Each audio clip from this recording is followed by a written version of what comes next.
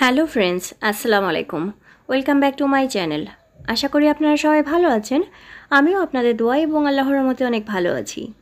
আজ আমি আপনাদেরকে খুব সহজেই কীভাবে চিতই পিঠা তৈরি করা যায় সেই রেসিপিটি শেয়ার করব। আমি পিঠাটা একটু ছিঁড়ে দেখাচ্ছি আপনাদেরকে কতটা পারফেক্ট হয়েছে। দেখতেই পাচ্ছেন ভিতরটা কতটা পারফেক্ট হয়েছে। শুকনা চালের গুঁড়া দিয়ে খুব সহজেই নরম তুলতুলে চিতই পিঠা কীভাবে তৈরি করতে হয়, চলুন দেখে নিই।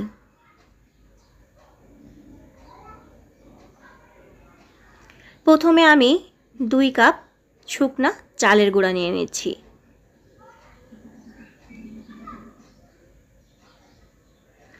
যাদের পিঠা হয় না, তারা এই রেসিপিটি যদি ফলো করেন, একশো পারসেন্ট আপনাদের সুন্দর ফুলকো পিঠা তৈরি হয়ে যাবে। এখন আমি এখানে সামান্য লবণ দিয়ে দেব। লবণটা আপনাদের স্বাদ অনুযায়ী দিয়ে নেবেন। এখন আমি এখানে গরম পানি দিয়ে দিচ্ছি। আপনারা যদি শুকনো চালের গুঁড়া ব্যবহার করেন, তাহলে পানিটা একটু বেশি গরম নিতে হবে। তাহলে আপনার পিঠাটা ফুলবে এবং সুন্দরভাবে নরম হবে। আর এই পিঠাটা যখন আপনি ব্যাটারটা তৈরি করবেন খুব ভালোভাবে আপনাকে মাখিয়ে নিতে হবে। এই চালের গুঁড়াটা যত ভালো মাখানো হবে, আপনার পিঠাটা কিন্তু ততটাই সফট হবে। দেখতেই পাচ্ছেন আমি কীভাবে মাখিয়ে নিয়েছি, রুটির একটা খামিরের মতো করে নিয়েছি। এখন এটাকে খুব ভালোভাবে দুই তিন মিনিট এভাবে চটকিয়ে চটকিয়ে মেখে নিতে হবে। এটা যত ভালোভাবে মাখানো হবে, আপনার পিঠাটা কিন্তু তত বেশি ভালো হবে। তো অবশ্যই আপনারা এই জিনিসটা খেয়াল করবেন। আপনাকে এটা খুব ভালোভাবে মাখাতে হবে। দেখতেই পাচ্ছেন আমি কীভাবে মাখিয়ে নিচ্ছি। এভাবে একটু একটু করে পানি দিতে হবে আর আপনাকে একটা বেটার বানিয়ে নিতে হবে। তো আমি এইভাবে করে করে মাখিয়ে নেব। খুব ভালোভাবে মাখিয়ে নিতে হবে।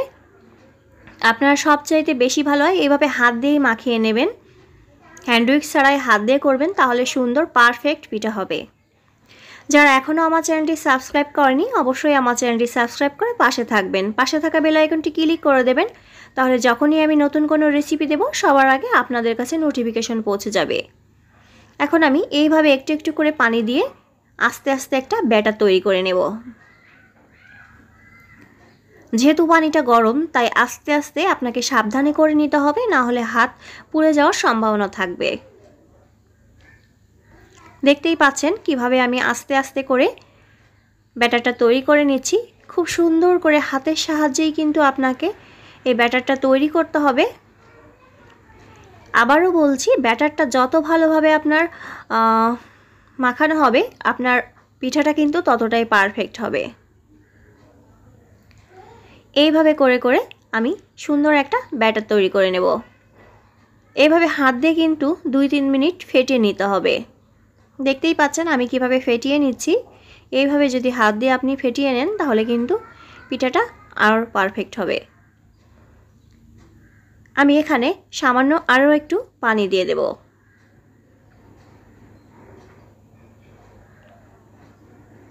আমার এই রেসিপিটি যদি আপনাদের ভালো লেগে থাকে, অবশ্যই কমেন্ট বক্সে কমেন্ট করে জানিয়ে দেবেন।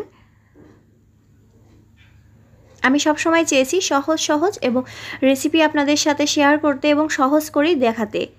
দেখতেই পাচ্ছেন, ব্যাটারটা কিন্তু ঠিক এরকম থাকবে।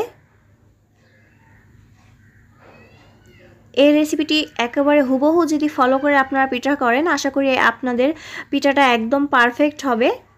যারা পিঠা বানাতে পারেন না, তারাও পিঠা বানাতে পারবেন খুব সহজেই। এভাবে আমি পাঁচ মিনিট রেখে দেব।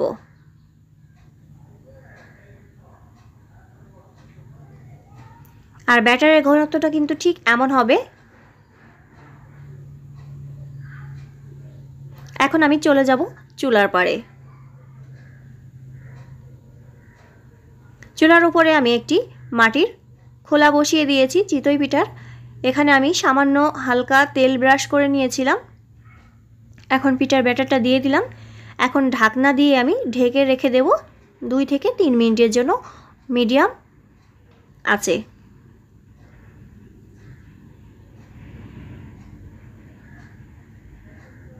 লোতে দিয়ে রাখা যাবে না, মিডিয়াম আছে রেখে দিতে হবে। দেখতেই পাচ্ছেন, দুই থেকে তিন মিনিটের ভিতরে কিন্তু পিঠাটা ফুলে কতটা বড় হয়ে গিয়েছে। পারফেক্ট একটা পিঠা হয়েছে।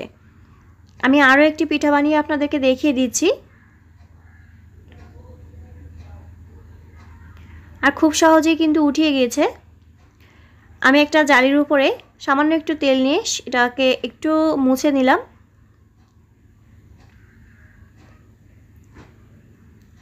এখন আবারও একটি পিঠার ব্যাটার দিয়ে দেব আমি। দিয়ে আবারও ঢেকে দেব দুই থেকে তিন মিনিটের জন্য। এই দুই থেকে তিন মিনিটের জন্য ঢাকনাটা ঢেকে দেবেন, কিন্তু এরপরে আর ঢাকনাটা খোলা যাবে না। আবারও পিঠাটা আমার হয়ে গিয়েছে, আমি উঠিয়ে নিচ্ছি, আমি এইভাবে সব পিঠাগুলো বানিয়ে নেব।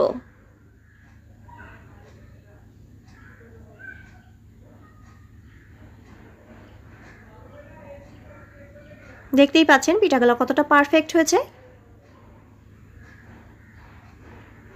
আমার সব পিঠাগুলো কিন্তু বানানো হয়ে গিয়েছে। আর দেখতেই পাচ্ছেন পিঠাগুলো কতটা পারফেক্ট হয়েছে। আশা করি আজকের এই পিঠার রেসিপিটি আপনাদের ভালো লেগেছে। আর যদি ভালো লেগে থাকে, অবশ্যই এই রেসিপিটি একবার হলেও আপনারা ট্রাই করবেন।